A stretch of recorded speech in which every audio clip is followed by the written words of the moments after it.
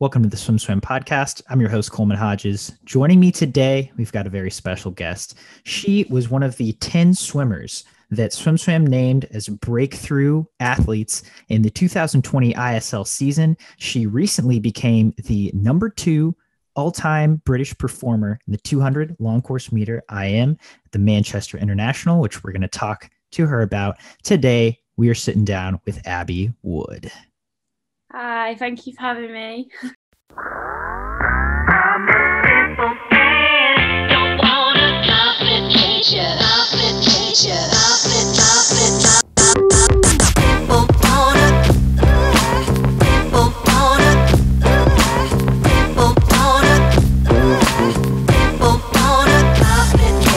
I'm glad we were able to make this work and have a chat for a bit. Um, let's let's start with that Manchester International meet. It was uh, the second week of February, Valentine's Day weekend. Um, I mean, it, it looked like you were feeling it that weekend. What? How did you feel during that meet? I think I was just so excited to get racing again, like especially long course. Like obviously ISL was so much fun and I was just really like eager to back up my performances at ISL long course. So I think um, there was a massive novelty to racing again and it really didn't wear off throughout the weekend. And I think everyone at the meet or anyone like around the world who's starting to compete again, like it definitely feels like um like you're just happy to be there and i think it just showed in my swimming really Was that your first long course racing since COVID began?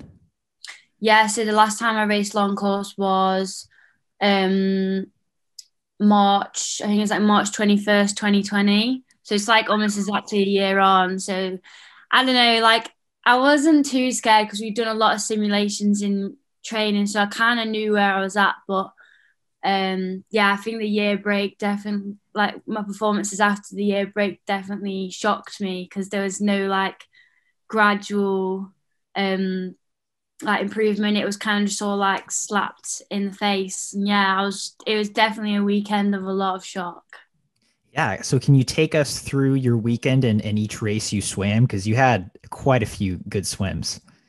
yeah so first i just did the 400 free in the heat of the friday which is the first day and that was just kind of to um kind of like get some race endurance in me because I, I like my best event used to be the 400 medley and since I've dropped that now um my coach kind of wanted to keep some endurance in my program just to make it basically was to make the 200s feel a lot easier which it was definitely nice and then we decided before I even swam the heat not to do the final and just to focus on the 200 breast which I did the heat and final of on Friday. And I think that was the 200 breaststroke was like the biggest shock of the meet. Like, I think it was like a four second PB, um, which is like an age group grouper kind of thing to say. And like, I've never, I'm never normally the type to drop that much. So, like, the shock and I think just being with my teammate Molly made it so much nicer because it was the first time she'd PB'd in the event event since Rio, and she obviously got the British record and we'd done a few breaststroke sets together and um, I kind of just fancied entering a 200 breaststroke and yeah it's definitely something that I'll keep on my program now so yeah to drop a 222 I was like so so shocked and I think you could definitely tell on both our faces at the end that we did not expect that at all especially like in just kind of like an untapered meet and yeah and then on the Saturday was a bit of a nicer day. I just had the 200 free. Um, and I think in the heats, I kind of just had the aim to go under. I just had like a race. I just had race processes in the heats, and then I just raced in the final. So I worked on some processes of like my back end in the heats, and then the final um, was another little PB, which was nice. Um, and then the 200 medley. No, on the Sunday I had the 200 medley and 100 free, which again for the 100 free I just did the heat, um, just to see like where I was at in the event because I'd never usually do it, and because I did, I surprised myself at ISL in the relays. My coach just wanted me to give it a go, and that went quite well, better than expected. And then yeah, the 200 medley like it was it just felt like that was my event and I was like I really want to show I want this one to work out like the others have worked out. Um, so yeah, to go under 210 for the first time was, um, yeah, that's like I would say it was my highlight of the meet. So, yeah. that's, I mean, yeah. So you go t- three massive PBs in the in the 200s, and then you mm-hmm. also have really good swims in the four free and the hundred free and, in prelims. Uh, but does first of all, I have to just looking ahead to the to the Olympic Games. Does this narrow your program at all? Do, are you pretty set on events you're focusing on, or that, is that still up in the air with with so many to choose from? I think it's um I think it's narrowed down like in my head, but obviously like I have to qualify for each one and like like me and my coach will go through the program, but I think it's the three 200s that I did at Manchester, the three that I'll focus on. So the 200 breast, the 200 free, and the 200 medley. And I think the 200 free and the 200 medley were always two that I was going to aim for. And then I feel like the, the 200 breaststroke kind of has been added on since Manchester. Um, and I think I prefer having a busy schedule because it puts less pressure on one event. And I think that's what really helped me at ISL. Like I was very busy and I think I'm kind of someone who thrives on back to back racing rather than putting loads of pressure on one event. So for me, it's kind of like the more the merrier. So I don't see it as an issue. I see it as it's like good to have options if I like qualify on the events. Like, yeah, I'm not presuming anything, but yeah, they're they're the three ideals. And then if Britain do any relays, I think it would be nice to be a part of some of like the 200 free relay and I don't know, maybe the four by one. I don't know. I don't know. It's, I don't want to like say like, oh yeah, I'm doing this, this, and this because technically I haven't even qualified yet. So, but that that's like the aims, yeah.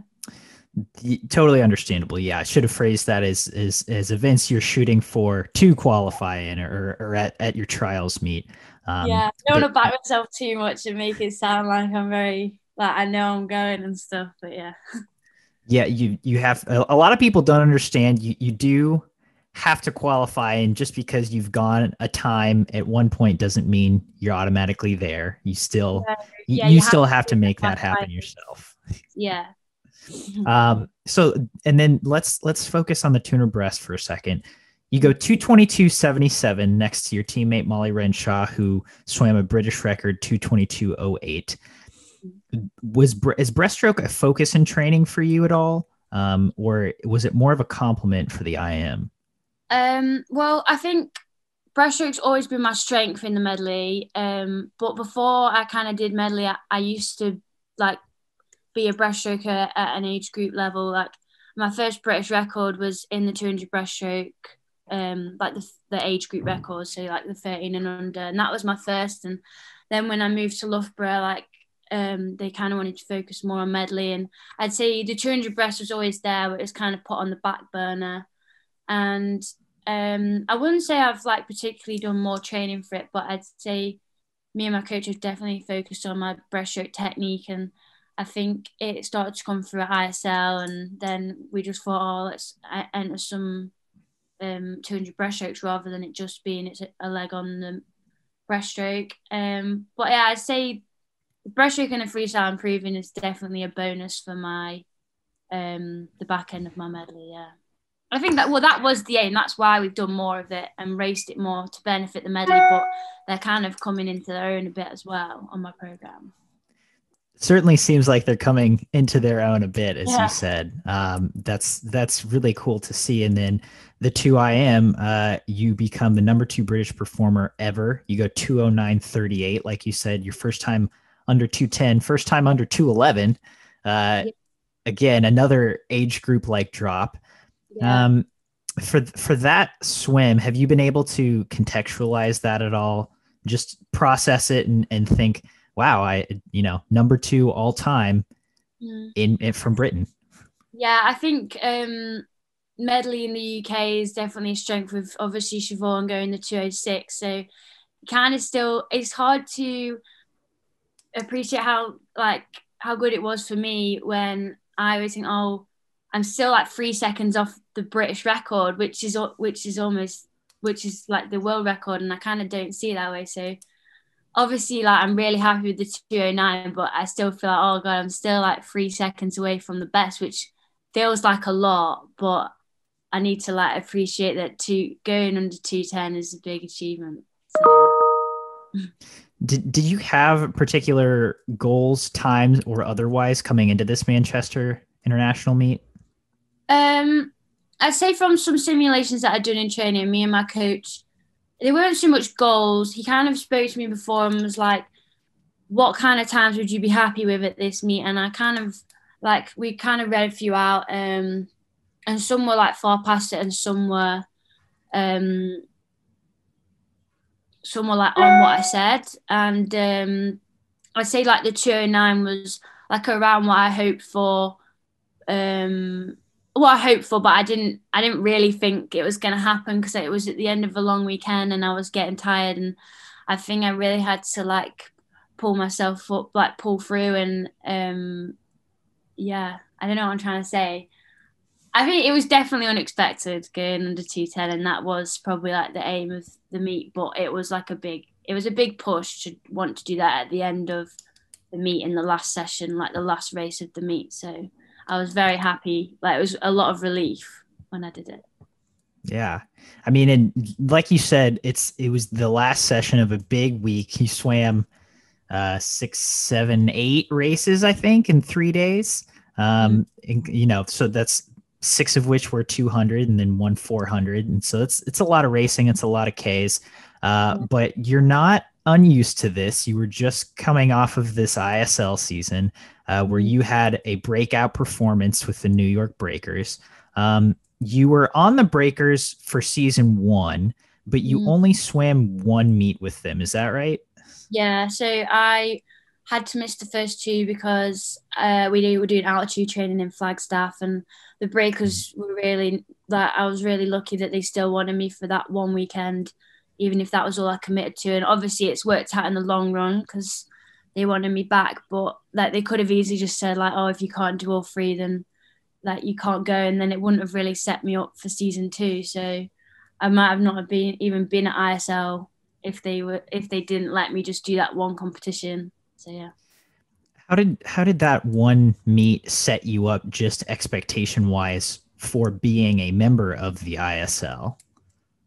I think it made me realize that I was a really little fish in a big pond. Like it wasn't like the best meet for me, and I think it made it like obviously it made me realize that I did want to be involved in ISL, but if I did want to like make a mark on ISL, that I really had to pull my socks up for the next year um, so I think like it was definitely a benefit of doing the one competition. Um, but yeah, it definitely made me excited for next year. But it made me realize that I wanted to be in amongst everyone rather than. I think I like the highest place I got was like sixth, and I don't know. I just wanted to be racing with everyone rather than just kind of being a filler. Pull, pull my socks up. I love that phrase. I've never heard that, but that's, oh, that's really? great. uh, maybe yeah, maybe it's a I don't know, maybe it's a British thing, but that, yeah, that's great. Because that, yeah, that's really like said a lot in England. I love it. Uh, so then in that next year between ISL seasons one and two, obviously a lot happened globally, um, yeah. most prominently the COVID pandemic. But how, you know, before COVID and after you know, and once COVID started, how were you metaphorically able to to pull your socks up for season two? Um, I think as I got into the long course season, like it did start to go well before everything kicked off. Um, I think I went like a few two elevens in season, which has never really happened for me. Like I normally used to have to get a full taper, so I think the progression was starting to happen, and then it kind of just obviously like it was just all completely taken away from us and it was real it was quite annoying actually because I'd finally just got the ball rolling and um, for it all to stop was obviously annoying and all swimmers will say the same but I think through lockdown like through lockdown it really gave me um, kind of like a standard to aim towards because I was like right I've got the ball rolling like, I need to keep it going like this is my time and I feel like it was a lot of work behind the scenes um, and at home during lockdown that I had to just keep my head down and know that I'm, I'm going in the right direction and I don't really want to stop yet. I know everyone's lockdown situation was so different, and it's it's been great for me just to hear what everyone ha- had to do during that time and what everyone got to do during that time because some people had pool access, some people had backyard pools, some people had pools people's houses, and, and a lot of people just didn't have pools. What, especially when lockdown started, I'm I'm pretty sure Britain was fairly strict, and I think they still are. But what mm-hmm. what was your situation? What were you able to do, and and what did you end up having to do to you know keep that level?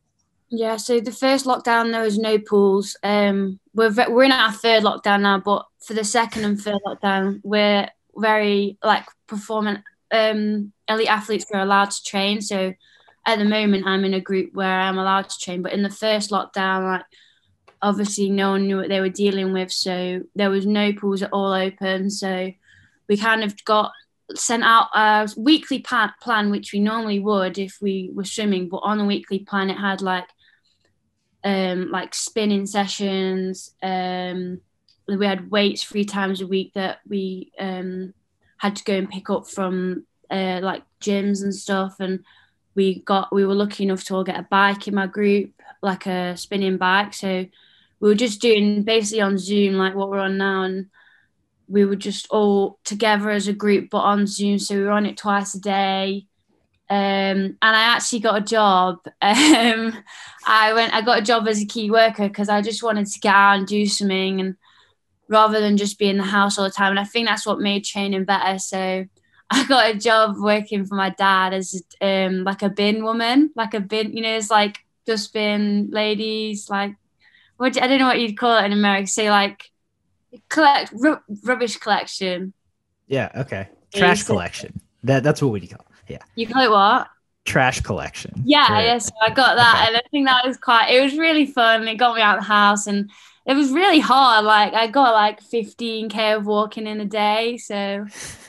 Um, I think that was like and, an added endurance. I don't know, maybe that's what's like kickstarted the swimming again. Um, Wait, yeah. to be clear, you were you your job was just walking around from house to house and, and emptying trash, emptying rubbish. Yeah, okay, okay. into the lorry. So it was not glamorous at all. Um, but I really enjoyed it, and I'm glad I did it because it's something to say that I did. And yeah, maybe all that endurance, and I think it made me realize how lucky I was to be able to call swimming a job. Um, and it wore off the novelty of wanting to stop swimming and get a job.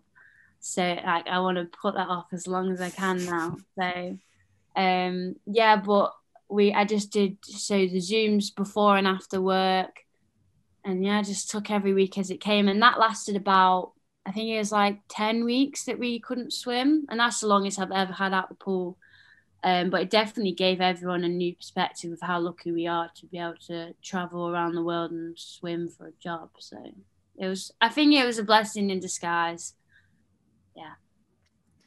Yeah, wow, that's it's certainly not something I've ever heard on this podcast yet. Um, that is that, that is pretty cool. Did I? I mean, I, ha- I just have to ask a couple more questions about that. Did did you get that job just to get out of the house, or just to give you some activity? I think a bit of both. Like I knew it was an option. Like, um, and yeah, it was to get out of the house because otherwise I would have just been sat around waiting to do these two Zoom calls a day and I'm very much a person you can't just sit around like.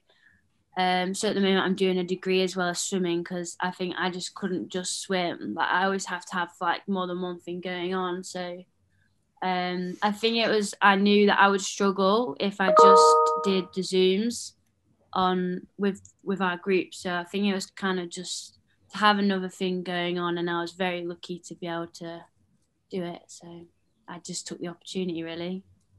That that's awesome. that's really cool. Did you get paid? Yeah, yeah, it's like a legit job. Yeah, I got paid. Nice. Mm-hmm. Um, okay, cool. So, so, so then you finally are able to get back into the pools and um, before ISL, how long were you able to swim and train for?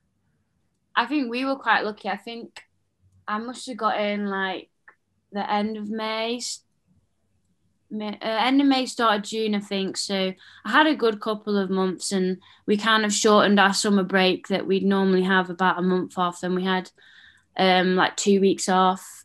Um, and so, yeah, I felt in probably better shape than I normally would in October, November of a normal season because normally I would have only had like six weeks. Um, so I think that definitely benefited me. Um, so yeah, I had quite a bit of time. Uh, that that is nice. And then you come into the 2020 ISL Budapest bubble, and uh, mm-hmm. I mean, I think it's safe to say you sufficiently pulled your socks up. Uh, you, like I said, you were one of SwimSwam's uh, top 10 breakthrough swimmers for this ISL season. Uh, you scored a lot of points for the New York Breakers in IM, breast, on relays. Like you said, you were super consistent. I I think we I remember reading you never you your your fastest split in 100 free was 52.3, but you never split slower than 52.7. So you're super consistent. Um, and yeah, let's get your perspective on that six. First of all, six weeks in a bubble, super weird or, or just very novel uh, position for a swimmer to be in. What was that experience like for you? I loved every second of it. Like it went so fast. I did not feel like I was there for six weeks at all. And I think um, consistency wise, I think swimmers you could go about it two ways really. Like you could either taper throughout the meet into the final or try and maintain as fast as you can for the whole six weeks. And I think because I was on breakers and we didn't really know if we'd get all the way. So me and my coach sat down and said, I just want to be um, as fast as I can for as long as I can, basically. So I kind of just like effort wise, I went through, I went, I went into it from the first meet, but it did get it like just like maybe I did get fresher as it went on, and I think I did get quicker and quicker. But my aim was just to be as consistent as possible, and I think the drops that were really showing were only in the 400 medley, and I think that was probably just because I didn't have as much training on my back by the end of the meet. So, yeah, my aim going into it was just um, to be as quick as can for as long as can, rather than tapering into a final meet. But with the breakers, we didn't know when our last one would be. And uh, so, yeah, if I'd gone to, for the route of tapering into the final, then and we didn't do the final, it would have all kind of gone wrong, and I wouldn't. Have, I'd be quite annoyed that I didn't get to perform how I wanted to. So yeah. It's, it seems like you picked the right plan of action. The Breakers, well, they didn't make the final. They did make the semifinal, which uh, seemed like seemed like a good milestone for that team. Um, yeah. For you personally, did you have a meet or, or, or a match rather that stood out to you as you were like, okay, this I was really on for this match, and uh, can you give us some context around that? Um, I think this probably the second match and the semi final. So, um, I think the first match was just getting into it because I hadn't competed in about six months, and then I think I shocked myself with my performances. So then for the second match, I was like, right, I want to be on it now. Like, I really want to go for it, and I think it showed. I think that was the one where I got the British record, which was my first senior British record, and I just remember being so like confident in myself rather than the first meet where I was kind of like, oh, I don't know where I'm at. And I think there was not maybe like a lot more nerves going into the first meet. And I think a lot of swimmers would have agreed because you just had, we had no idea where our performance would fall. Like it was really hit and miss. And um, it went quite well. So then for the second meet, I was really, really excited. And then, um, so, and then I feel like I tried to just stay consistent after the first meet, and then the semi final. I don't know what came out of me on the 400 medley, but I think I was just like, right, this is the last one. Like, I really just want to like get out of the bag and just do what I can. And um, yeah, I think definitely the second meet and the semi final.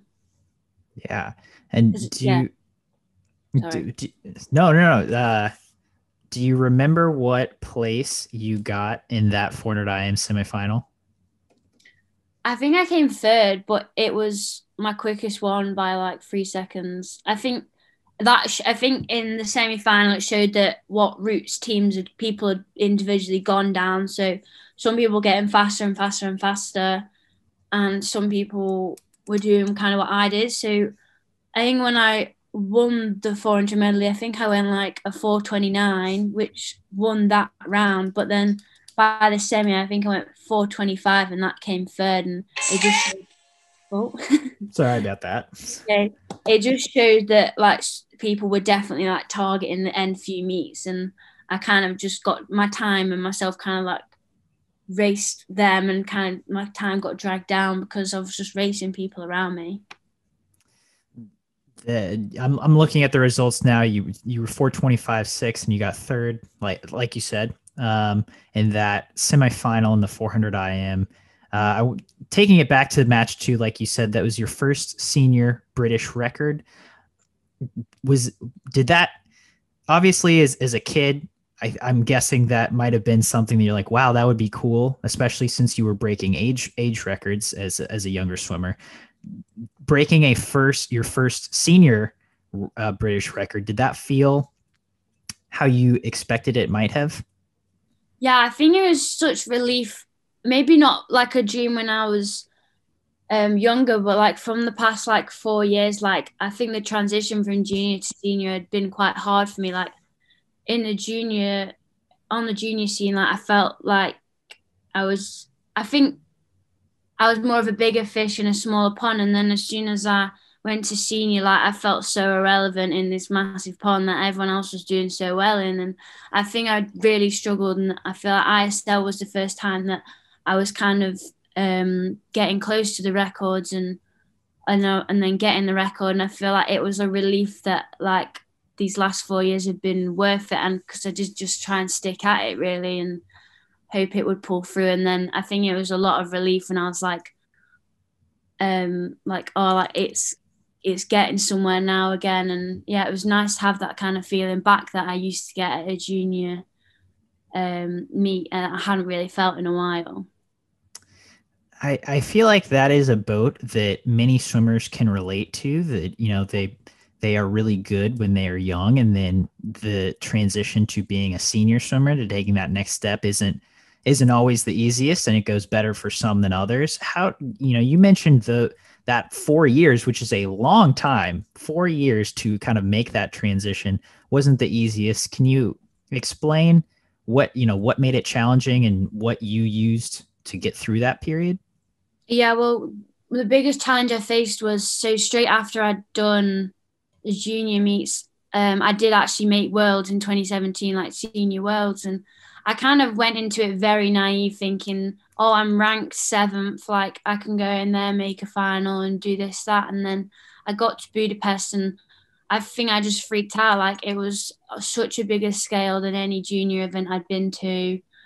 Um, and in the heats, I went at PB plus 10. I went my PB going into it to make worlds, I went like 437 for the four medley. Um, and mm. then um, at the actual meet, I went for 47 in the heats, and I was so embarrassed. Like it was so obvious that I was so far off my time because I was in a pretty good seeded heat, and it was so obvious, and I was so embarrassed, and was such a big audience. And after that meet, like, I was really ready to quit. And I think it was my coach that was just like, "You need to put this into perspective," and he just gave me a load of examples of when it hadn't worked out for other British athletes at their first senior competition, and and then he was like, just look where they are now, kind of thing. And I think that kept me going because um, they were people that I knew and people that I could like talk to about it if I wanted to. And I think you are very lucky if your transition goes smooth and you go straight to the top of a senior. And I think it's very rare. And I think I was just naive and I thought like because I was a top junior, I could just go straight to the top on a senior level. And I think I just took the longer route and I don't know, maybe the shortcut is um, very limited to some people, and they're very lucky if they can go straight from junior to senior. I mean, that's that is that, that's a hard fall, right? I mean, like you said, yeah, you, you went into so, it.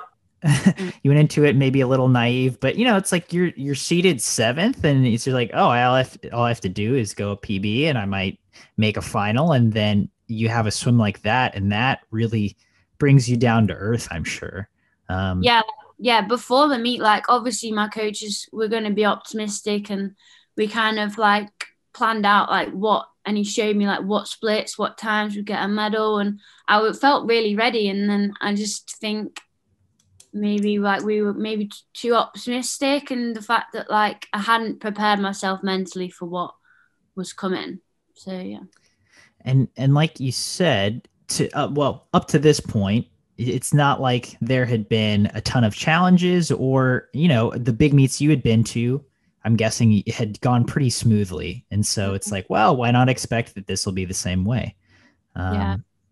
so that's i mean so that sounds like a, a, hard thing to get through. And like you said you know almost almost retired you but you kept going. And and what how did you how were you able to change that mentality over the next few years I think it was very gradual. Like I just gained more and more experience over like the next four years. Like uh, don't get me wrong, like I was very lucky to I was still like making teams because of the times that I'd gone and um the times that I did it not so big meets. So I still could I still could like get uh, like a sub 440 out of me at any trials I did. So I was lucky enough to go to like Commonwealth Games and Europeans and I think gaining the experience then I feel like it, it kind of just improved a little bit every competition. So like I had final at commies and that was my first international final at a senior level and then um yeah and then I feel like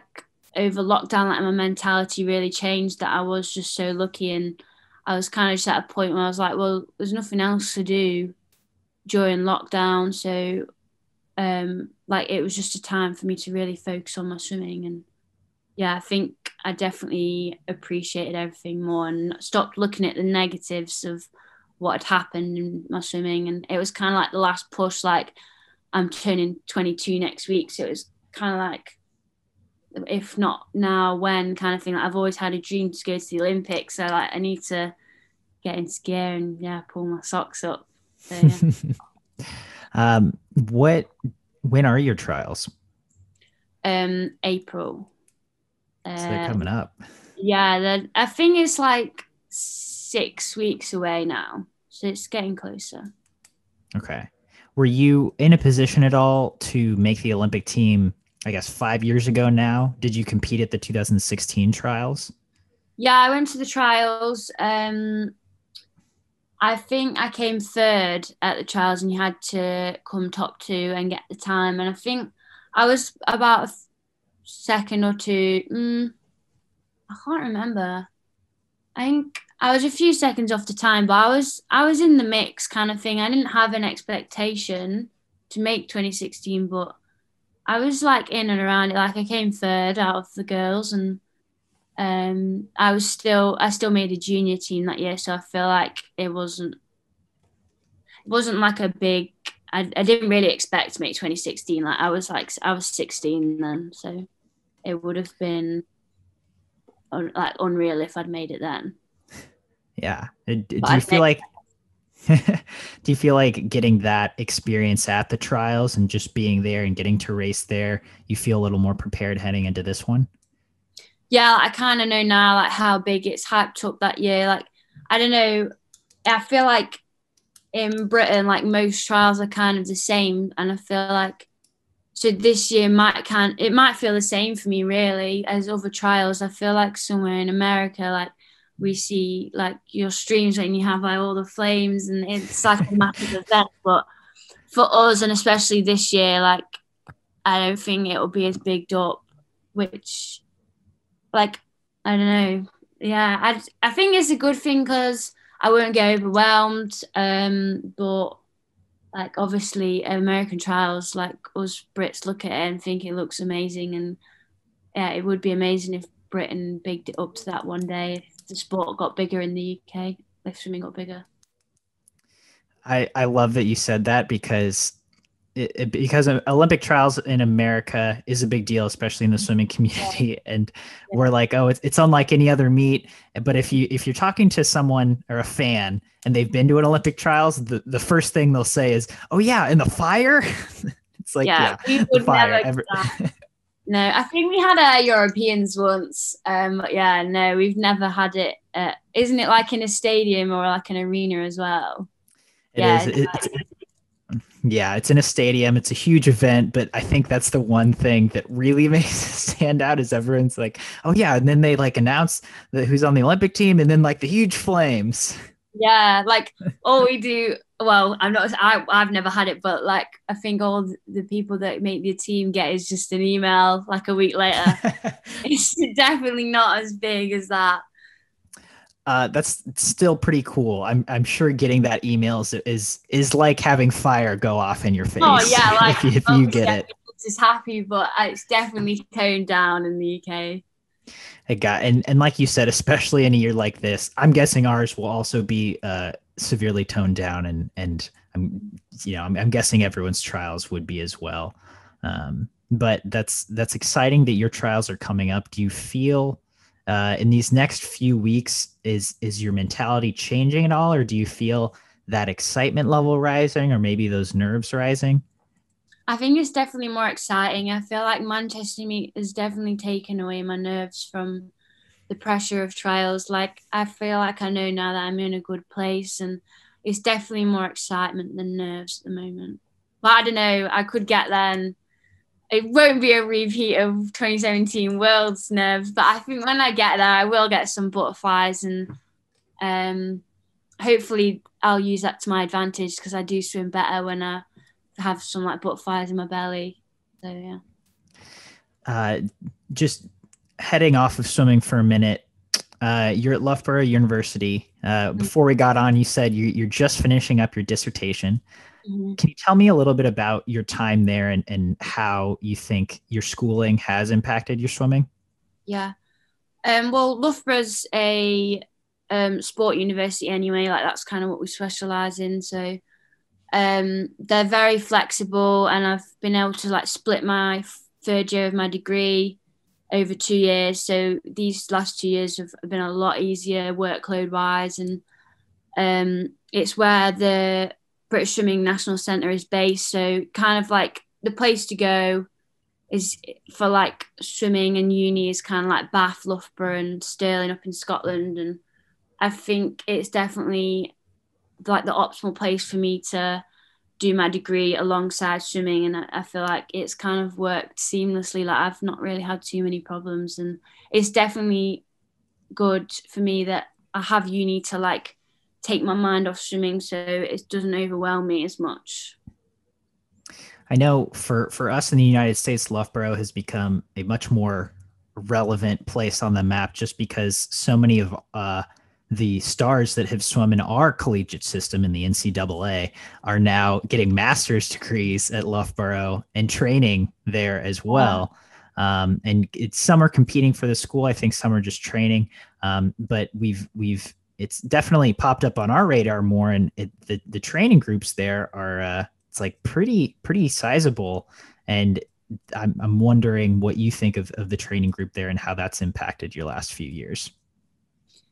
I think like obviously uh, i think adams definitely put loughborough on the map in the swimming world and i feel like that's probably made the, it stand out more and more.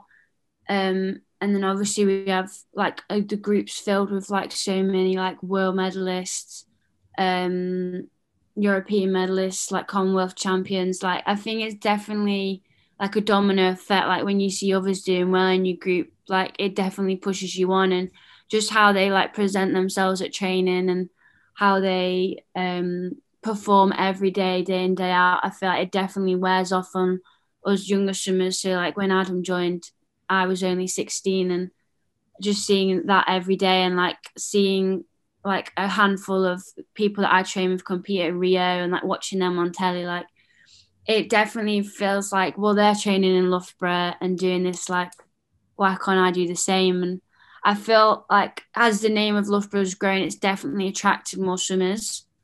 Um, so that's probably why it's just getting um, bigger and bigger, really who who is specifically is in your training group because I, I i'm pretty sure there's a few different groups correct yeah so there's two groups in the national center and then there's the uni group as well which the uni group is kind of where there's more international swimmers so like felix Auböck mm. and oh god put me on the spot like marie Wattel as mm-hmm. well um, from France.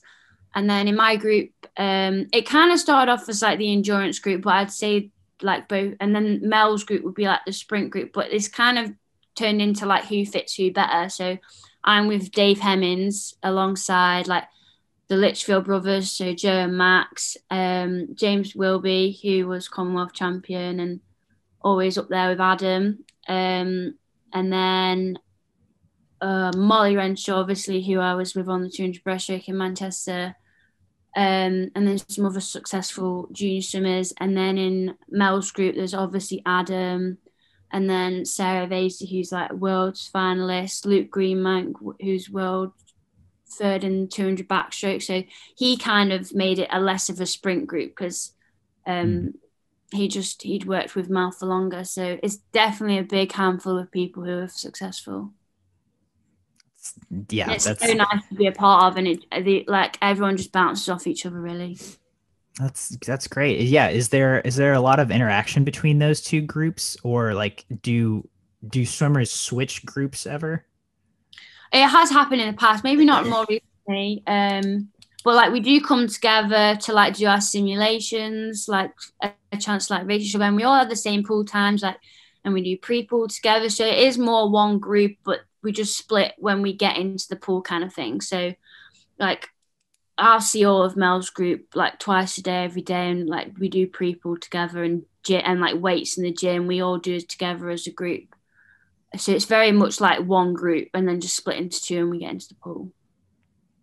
That's that sounds pretty great. And it sounds like like you said, there's been success and that's just snowballed and snowballed and now like everyone you mentioned is a is is a very elite swimmer on, on the world stage now, which is exciting for uh for this coming summer, certainly. Yeah, definitely.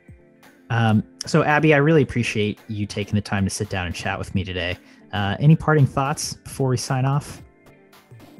Oh, none that I can think of, unless you have anything else to quickly ask. But um, no, I'm just so excited for trials, really, and then take it from there.